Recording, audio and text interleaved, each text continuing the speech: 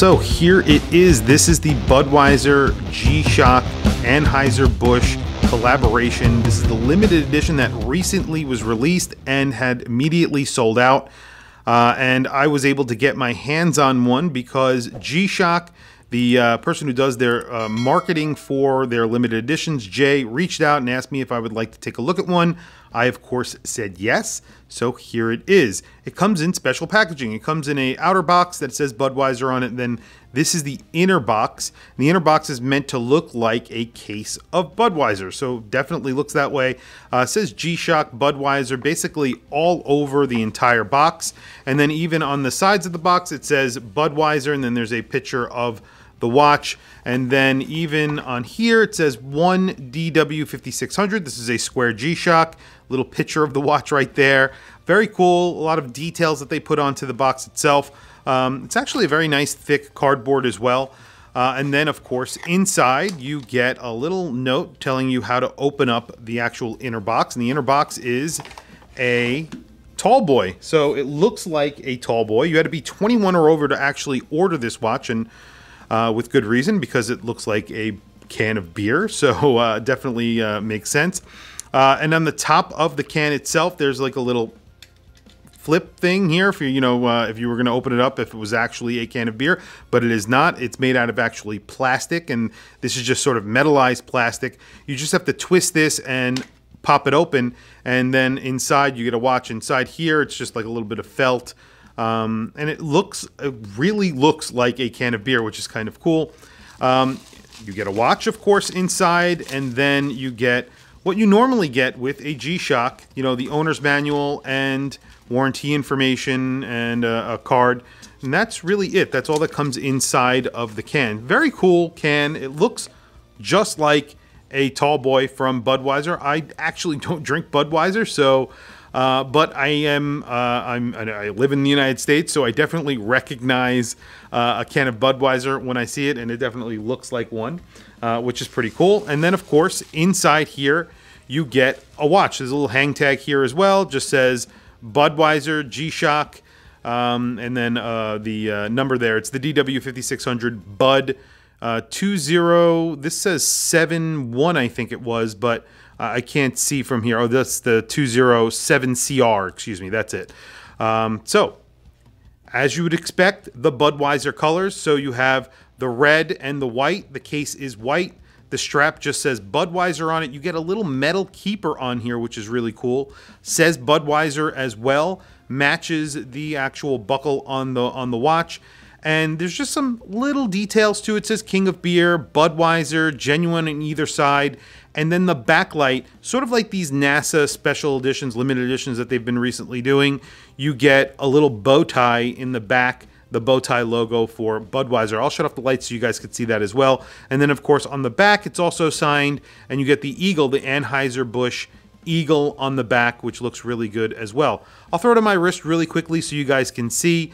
Um, I'll be wearing this uh, on and off, obviously, and uh, I'll probably do a full review, but let me show you very quickly what I have on my wrist. Of course, I am wearing my NASA G-Shock, which is sort of in a similar colorway. It's all white on the strap and then black on the uh, actual case, where this is all red on the strap and then white on the case.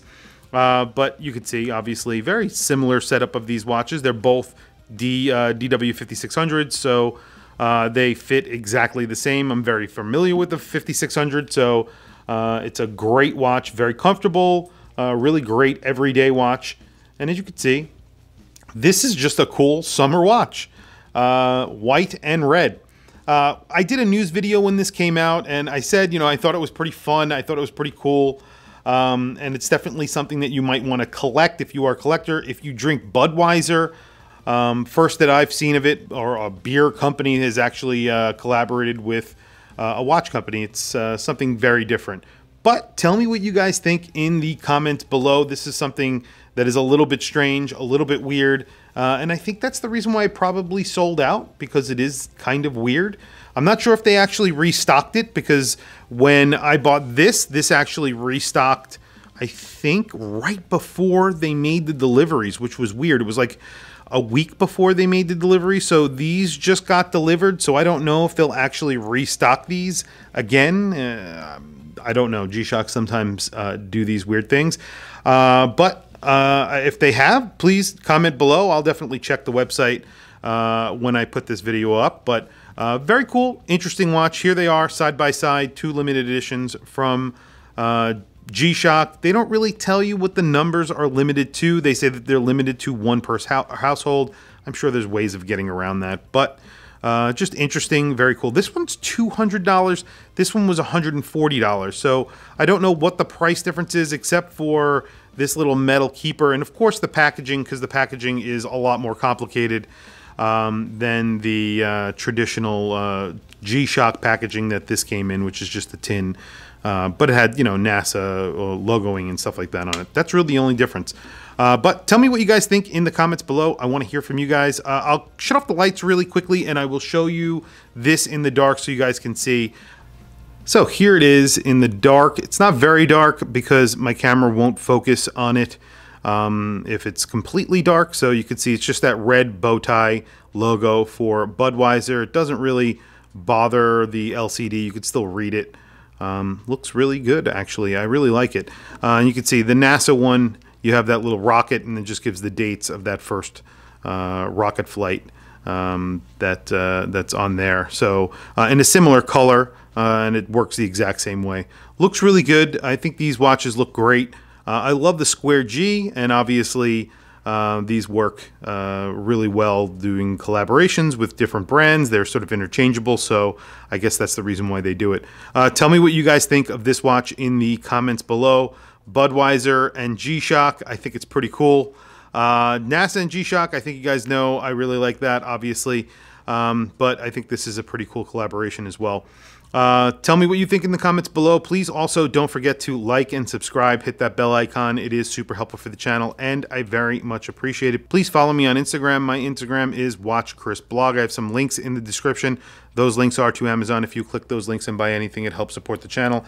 It doesn't cost you anything extra. However, I very much appreciate it. Anyway, thank you for logging on. I'll catch you guys in the next video.